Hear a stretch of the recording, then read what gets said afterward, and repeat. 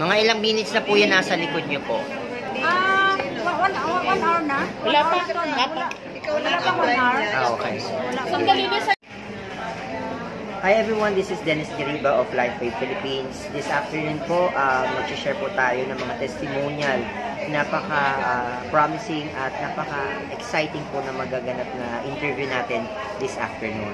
Switch over ko na po ito sa kanila. Hello po, good afternoon. Hello po. Ah, ako po si Maria Jessica Ryerson. Ah, author po ako ng Survival Instinct of Woman na, na ngayon nasa Philippines na po sa Amazon saka sa Lulu.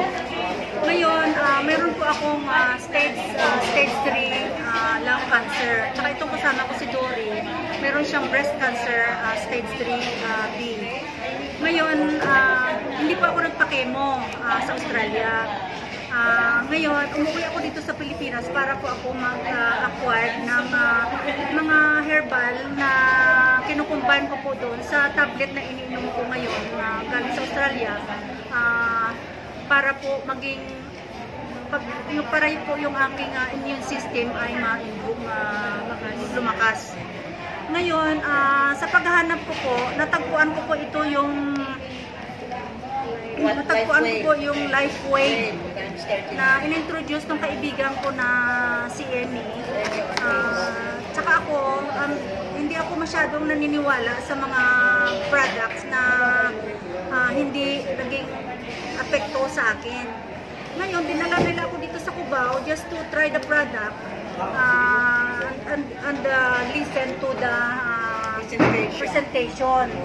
Ngayon, ganito ang nangyari pagbaba ko po sa kotse kasi hindi po ako hindi po ako ayoko mag-expose po sa mga dust. Tsaka ano, nagmamas pa nga ako pagpasok ko rito eh. Tapos naka nakasalamin ako kasi ang mata ko is very sensitive with the light. Pag umito pa ako kanina pagdating ko dito eh.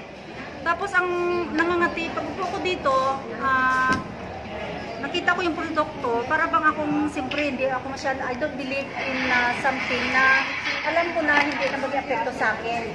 Ngayon, habang nagsasalita sila, parang masama pakiramdam ko kasi mayroon akong, siyempre pag may cancer ka, may mga tumutubo, mga bukol-bukol sa mga katawan mo, ang sakit ang balikat ko. Tapos ito, sa kamay ko na to, ah, masakit ito kaya hipo ako ng hipo kanina pagdating ko dito. Parang masama pakiramdam ko ba. Ah, tapos para nangangalay yung mga kamay ko. Tapos sabi ko sa kanila, sa mga pakiramdam ko. Tapos yung mata ko, makati. Makati yung mata ko. Tapos nilagyan nila ako ng patches dito sa hindi ko maalam itong doktor na to eh. Nilagyan ako ng patches, sabi niya magantay ka ng within uh, 15 15 minutes. O, fif- uh, 15 to 30 minutes. Tapos nararamdaman ko parang nanginit yung katawan ko. Tapos nung nakasalamin akong ganyan, kasi hindi ko to inalis eh. Tapos bigla ko inalis, nakakatingin na ako sa sa ano, sa sa lights, hindi na ako hindi sensitive yung mata ko, tapos nawala yung pangangati. Tapos yung ano, itong ano ko, dati hindi ko to mahipo. Kanina, pagdating hipo ako na hipo ngayon, pag pinupush ko ng ganyan, masakit pa rin siya, pero para siyang lumambot. Lumambot siya, o hindi na siya matigas. O, tapos yung shoulder ko, ito, masakit ito eh. Masakit ito, tapos lumambot na rin siya, parang ang init ng katawan ko. Parang katawan ko parang uminit. Ang init ng katawan ko.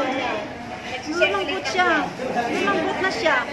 Anong stage po yung cancer niyo po? Ah, stage sa stage 3. Ngayon, sabi ko, parang interested ako, sabi ko na ano, kaya nag-join ako today. Nag-join ako dito sa produkto na to kasi parang naging effective sa akin on the, on, on the spot.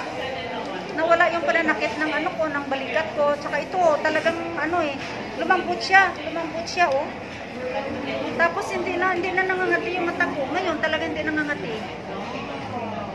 Tapos ito nga hindi ko na ginagamit kanina, hindi ko to hindi ko to inalis kahit manood ako ng TV kasi sensitive ako sa light.